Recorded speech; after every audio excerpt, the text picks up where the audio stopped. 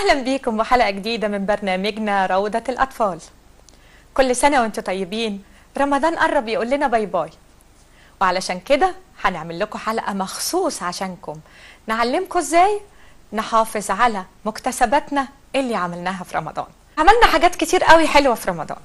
شهر كامل بنصلي وبنصوم وشهر كامل بنعمل العطاء وشهر كامل أهل الكرم وشهر كامل برينا الوالدين وبرينا الأقارب وكمان عطفنا على الفقير. فاضل نعمل حاجة مهمة قوي إن إحنا نحافظ على كل ده بعد رمضان.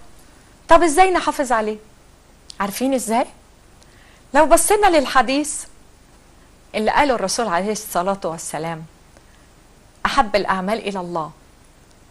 أول حاجة هنلاقيها في الحديث ده الصلاة على مواقيتها. يعني أول ما تسمع الأذان بيقول الله أكبر.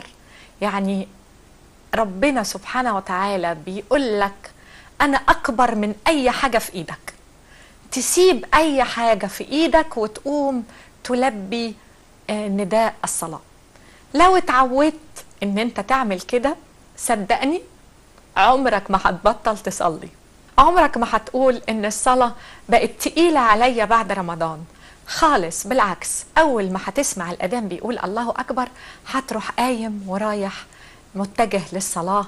وسيب كل اللي في إيدك مش هيجرى حاجة لو اللي في إيدك اتعطل لمدة دقيقة إلا لو كنت تمارس عمل والعمل ده ما ينفعش. زي ولادنا دلوقتي ما بيتعلموا أونلاين ما ينفعش يروح سايب الحصة ورايح يصلي. هيستنى بعد ما يخلص الحصة أو الحاجة المهمة اللي هو بيعملها اللي فيها مستقبله وبعد كده يروح يتوجه فورا للصلاة. وما فيش حاجة اسمها يا جماعة أصل الظهر راح عليا فأنا خلاص بقى ما صليش أبدأ الصلاة من بكرة. لأ من تذكر صلاة فليصليها. وعلشان نقدر نحافظ على الصلاة نخليها عادة. مش بس أنا بصلي علشان دي عبادة بعملها لربنا لأ علشان أنا اتعودت أقف بين إيدين ربنا خمس مرات في اليوم. ويا ريت طبعا نحافظ على صلاة الفجر زي ما كنا بنعمل في رمضان. إحنا طبعا كلنا بنسهر للسحور وبعد السحور بنصلي الفجر ونخش ننام. يا ريت كمان نقدر نعمل ده بس ننام بدري ونقوم على صلاة الفجر نصلي وممكن نرجع نكمل نوم لو لسه عندنا مساحة من الوقت. طب إيه كمان إحنا اكتسبناه في رمضان؟ اكتسبنا إن إحنا زي ما قلنا في الحلقة اللي فاتت إن إحنا قسمنا ال 30 جزء من القرآن على عدد الأيام فبقى كل يوم جزء. قسمنا كل جزء على خمس صلوات. يطلع تقريبا الجزء حوالي حوالي 16 صفحة تقريبا. تهيألي يعني. ده لو قسمتوه يا جماعة على الخمس صلوات يطلع كل صلاة نقرأ صفحتين. فما أعتقدش إنه شيء كبير. طيب ماشي رمضان خلص وإحنا بقى هنهجر القرآن؟ لا ما ينفعش. إحنا المفروض علينا إن إحنا بنقرأ القرآن سواء في رمضان أو ما فيش رمضان. دي قراءة القرآن عبادة أمر بها المسلم. فلازم المسلم يحافظ على على الأقل ورد يومي قراءة صفحة قراءة نص صفحة. انت ترتب نفسك وترتب مع مواعيد المذاكرة بتاعتك ومواعيد التلفزيون ومواعيد أصحابك وكل المواعيد دي ترتب وقت في يومك علشان خاطر تختلي بنفسك وتقرأ ما تيسر من القرآن. حتى لو بتعمل ده في المواصلات يعني بدل ما في المواصلات تروح مطلع الموبايل وتقعد تلعب جيم في المواصلات تم تطلع الموبايل وتكون حاطط عليه المصحف الشريف وتبدأ تقرأ الورد بتاعك وانت في المواصلات. صدقني لو عرفت تمارس ده بعد رمضان صدقني مش هتبطل.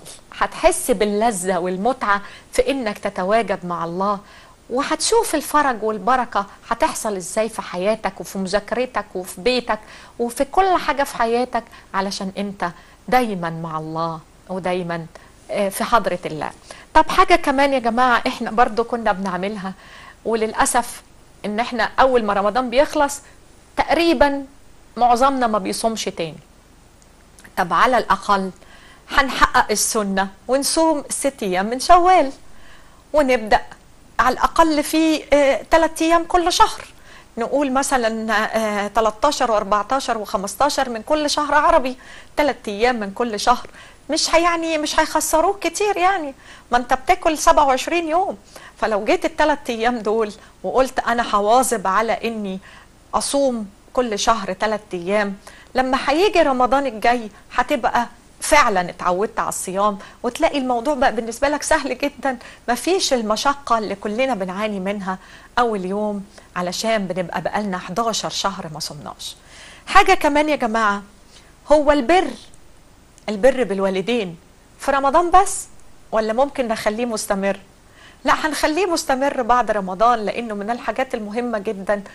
وتاني حاجة في الحديث اللي قلنا عليه أحب الأعمال إلى الله آه، بر الوالدين. من أحب الأعمال إلى الله آه، الصلاة على مواقيتها وبر الوالدين. والجهاد في سبيل الله طبعا.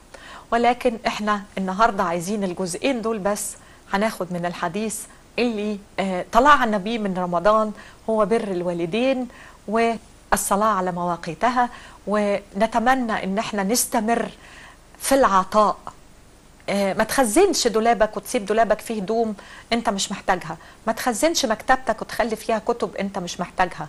آه، معاك فائض مالي وأنا أنصحك نصيحة يعني. دايما حوش دايما شيل فلوس على جنب علشان ممكن يجي لك وقت تبقى عايز تشتري حاجة أو تعمل حاجة. وبابا ما, عندوش الإمكانية فتبقى أنت بتقدر تساهم وتساعد إنك تجيب حاجة آه، غالية شوية بابا ما يقدرش يجيبها. لو شلت من مصروفك كل يوم جنيه ولا اتنين جنيه مش هيضلعوك في شيء. ولكن هتبص تلاقي الحصالة بتاعتك آخر الشهر بقى فيها 30 جنيه فال 30 جنيه دول يعملوا حاجة. فيا ريت يا ولاد آه، نتعلم إن إحنا نحافظ على كل اللي طلعنا بيه من رمضان آه، سواء إن أنت اتعلمت آه، تقوم تصلي التراويح. مفيش أي مشكلة إنك بعد كده بعد رمضان ربنا، انت بتعبد ربنا علشانك.